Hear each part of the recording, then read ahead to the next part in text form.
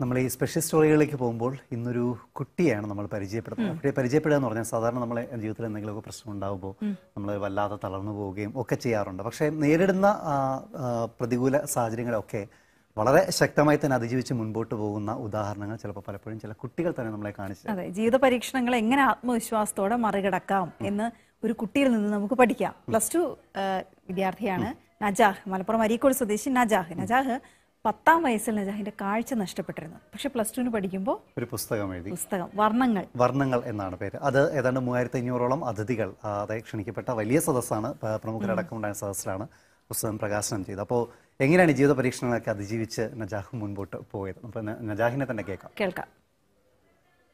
പത്താം വയസ്സിൽ കാഴ്ചശക്തി നഷ്ടമായി. പതിനേഴാം വയസ്സിൽ സ്വന്തമായൊരു പുസ്തകം രചിച്ചു. അത് വലിയൊരു ചടങ്ങിൽ പ്രകാശനം ചെയ്യാനായി. നജാഹ് എന്ന ചെറുപ്പക്കാരൻ അരീക്കോട്ടെ പതിനേഴ് വയസ്സുകാരനാണ് ഈ ഭാഗ്യം ലഭിച്ചത്. നജാഹിന് ആദ്യം അഭിനന്ദനങ്ങൾ. അപ്പോൾ ഇന്നായിരുന്നു പ്രകാശനം. സ്കൂൾ തന്നെ സംഘടിപ്പിച്ച മൂവായിരത്തി അഞ്ഞൂറിലധികം പേർ പങ്കെടുക്കുന്ന പരിപാടി. അതിൽ വലിയ ഗസ്റ്റുകളും ഒരുപാട് അതിഥികളൊക്കെ എത്തി. അതെല്ലാം നമ്മൾ ആഗ്രഹിക്കുന്ന അതിഥികൾ.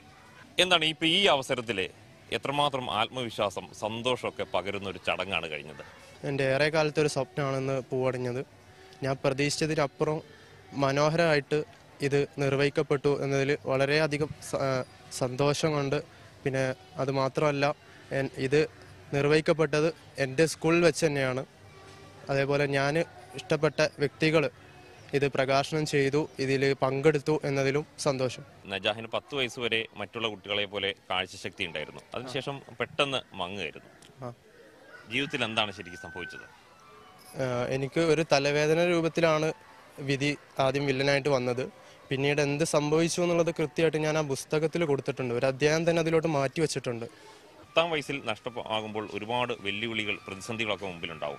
അതിനെ എങ്ങനെ അതിജീവിച്ചു എന്നുകൂടിയല്ലേ പുസ്തകം പറയുന്നത്? അതെ. ഈ ഒരു കാഴ്ച പരിമിതി വന്നതിന് ശേഷം പകച്ചു നിന്ന നാളുകളുണ്ടായിരുന്നു.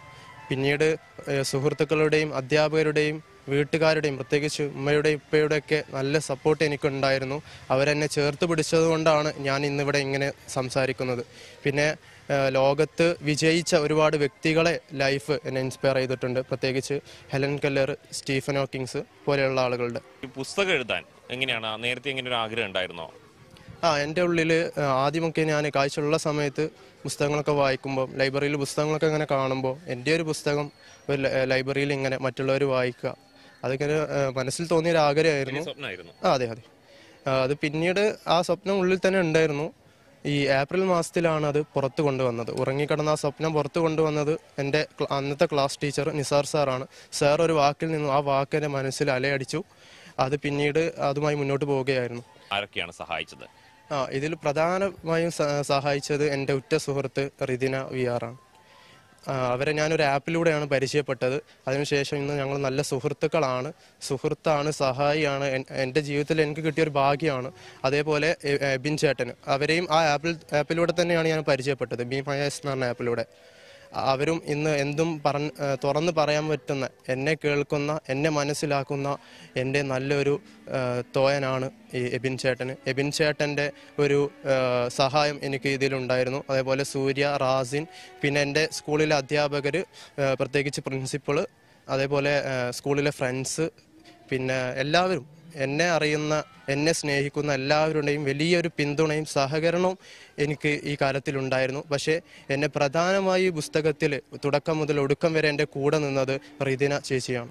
ഞാൻ തോറ്റിട്ടില്ല ഞാൻ വിജയിച്ചു വരും അല്ലെങ്കിൽ ഞാൻ വിജയിച്ചിരിക്കുന്നു എന്ന ലോകത്തോട് നജാഹിനൊപ്പം വിളിച്ചു പറയാനുള്ള ആത്മവിശ്വാസം നൽകുകയാണ് എല്ലാവർക്കും നജാഹിന്റെ ഈ പുസ്തകവും. അരീക്കോട് നിന്നും എസ് മഹേഷ് കുമാർ മനോരമ ന്യൂസ്. എന്തായാലും എനിക്ക് നജാഹിനെ ഇഷ്ടപ്പെട്ടു.